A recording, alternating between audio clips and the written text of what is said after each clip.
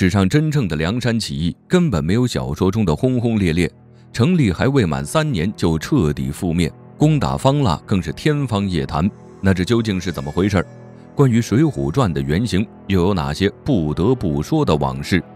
今天史先生就和大家聊聊这个话题。一切呢，还得从宋徽宗执政时期说起。宋徽宗此人非常喜爱琴棋书画，在文学上也颇有造诣。毫不夸张地说，他确实是一位出色的文学家和艺术家。但问题就出在，身为一个皇帝，你不需要有多出色的艺术才能，只要能处理好国家政事就行了。而宋徽宗在艺术方面独有的造诣，也注定了他不会是一位好皇帝。宋徽宗在位时期，宋朝对外屈辱求和，以大量金钱为代价换取和平。因此，不断的加征赋税，盘剥百姓，百姓生活水深火热，而宋徽宗呢，却只顾享乐。在这样的社会大环境下，不少人都举起了造反的大旗，宋江便是其中之一。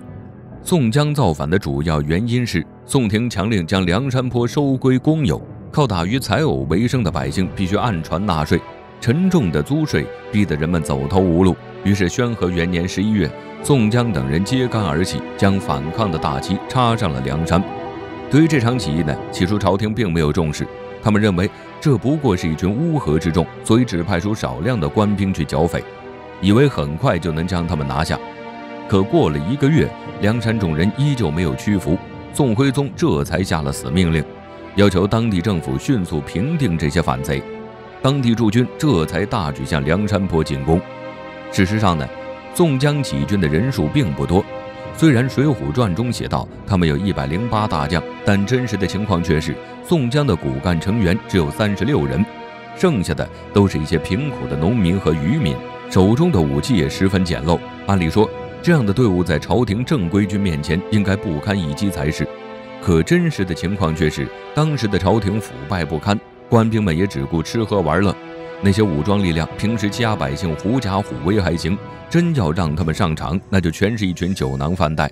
所以，即使当地派出了大规模的队伍，但还是没能拿下起义军，甚至被起义军打得落花流水。宋江也因此名声大噪，不少走投无路的百姓都赶来投靠他，起义军的规模也迅速扩大。起义军规模扩大以后，等待着宋江的又会是什么呢？此时的宋江有了更大的抱负。认为待在梁山坡也不是长久之计，于是便带领起义军转战于山东青旗与河南河北一带。由于当时的朝廷军大都军备废弛，所以起义军几乎是屡战屡胜，很快就攻破了十余个州府，势力遍布山东、河北等地。与此同时，方腊也率义军连破楚州、秀州，攻势凌厉，使北宋王朝十分惶恐。此时的宋徽宗终于意识到了事情的严重性，于是呢，便召集群臣开始商讨对策。此时有人表示，民间除了宋江以外，还有一股声势浩大的起义军，那便是方腊。于是朝廷便想让宋江去征讨方腊，让他们互相残杀，朝廷好坐收渔翁之利。于是呢，便命人去劝降宋江。和小说不同的是，宋江此时并没有接受朝廷的招安，也就自然没有征方腊这一事了。不过说到底，宋江起义军虽具有一定的战斗力，但是从本质上来说，他们更类似于盗贼，无法深得民心，也没办法长久的占有城池，因此只能四方征战，不断的以战养战，打一枪换一个地方。这样的作战方式虽然能避免被驰骋围剿，但也注定了起义军不能有自己的一方领土，难以成气候。而事实也确实是如此。起义军一开始成立的时候，确实风风火火地打了一些胜仗，在山东、河北等地扫荡了两年。但从宣和二年开始，宋江的队伍就开始走下坡路了。这一年，宋江决定带领队伍向南发动攻势。虽然义军人数不多，却好似一把钢刀，令北宋王朝惊恐万分，闻风色变。宋徽宗急令大军镇压，新州、知州蒋元严阵以待，双方展开了激烈的战斗。起义军最终因寡不敌众，为蒋元所败。之后呢，宋江又率领起义军挺进江苏地区，结果遇到牧阳县尉王师新率领的军队，又一次吃了败仗。而后，宋江起义军进入淮阳军，江淮一带十分富庶。如果真的让宋江的起义军攻陷了，那日后朝廷将失去一大经济来源。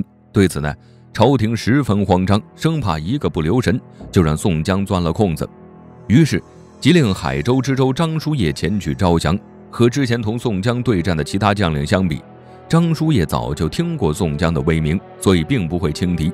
而且，他也是一名戎马多年的老将，有着丰富的作战经验。如果不是当初得罪了蔡京等人，那他现在应该在朝廷为官，而不是做一个小小的知州。也就是说，他并非酒囊饭袋，相反，他是一名非常有实力的老将。他训练的部队也和之前那些有所不同。早在听闻宋江的威名，得知宋江可能会带兵攻打淮阳之时，他就已经开始整顿军备，并派出探子侦察敌情，做好随时应战的准备。可以说，他将是宋江征战过程中遇到的最强劲的对手。面对着有丰富作战经验的老将，宋江又会作何反应呢？他仔细分析了海州的特点和城防情况后，决定从海上突围。他们攻至海滨，夺取了大型船只十余艘。之前宋军的无能，让宋江觉得朝廷军都是一些酒囊饭袋。再加上他一开始和张叔夜交手时，张叔夜用了一招瞒天过海，他让士兵假装败退，目的就是引诱起义军上岸，好烧毁他们的船只，断了后路。而宋江队伍也因缺乏作战经验，在看到官兵丢盔弃甲以后，便以为自己离胜利不远了，然后莽撞地冲上岸去。张叔夜见状，立马让伏兵乘机烧毁了起义军的船只。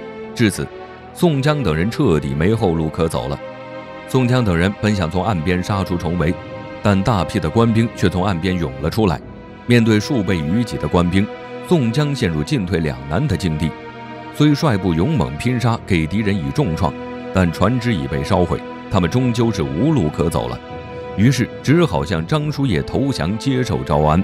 但这并非宋江的本意，接受朝廷不过是为了保存实力罢了。等到时机成熟时，宋江又再次揭竿而起了。不过呢，有了之前的前车之鉴，朝廷也对他们防备心极重，所以这次起义没过多久就失败了。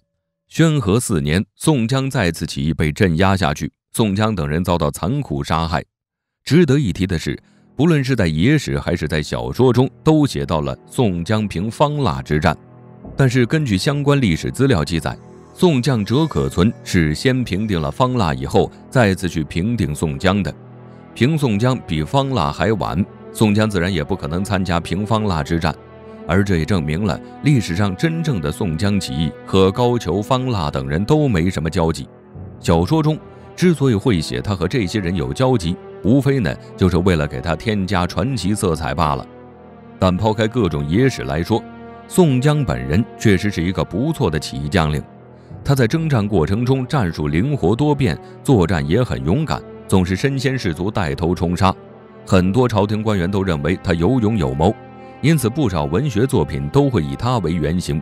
可惜的是，他终究只是个农民起义首领，缺乏一些作战经验，在取得胜利以后，难免会有些自大，所以才会落得那般凄惨的下场。